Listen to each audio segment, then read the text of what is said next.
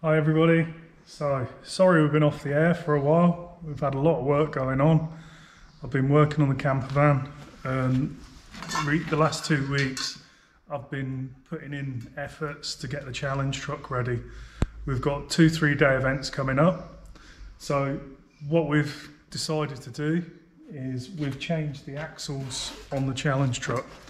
So originally it had Discovery 1 axles on it.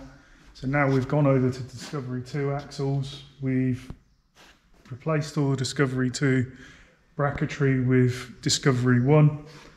We've put 6mm diff guard on it. We've relocated all the shocks and everything so that they're in a better location, slightly better location and better than they were on the original. We've now fitted an air locker on the front. I can't afford an air locker for the back, so I'm going to weld the rear diff up. We've replaced the rear axle as well. That's now Discovery 2. And like I said, we're going to put a welded diff in this end.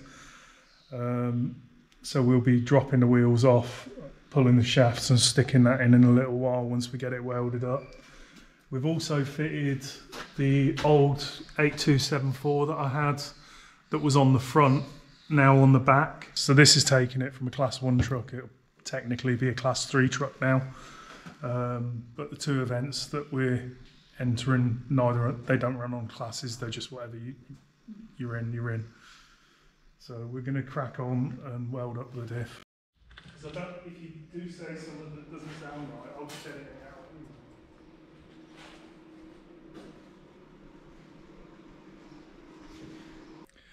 So we're going to weld up our rear diff and we're putting an air locker in the front of the challenge truck for the next event. And the diff, we filled it up with brake cleaner and set it on fire to try and clean out any oil that's in it to give a better, better penetration through the spider gears. So he's going to start welding now. Cool.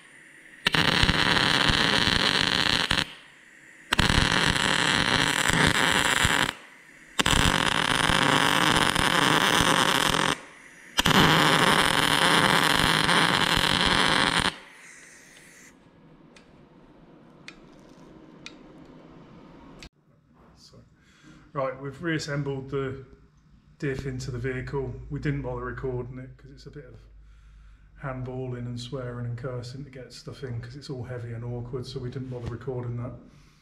Um, it's in and it's doing what a lock diff does. It's giving us drive to both rear wheels at the same time. So we'll have to give it a test and see if it works without breaking the half shafts. Hopefully it'll be great. Hopefully it won't cause us problems.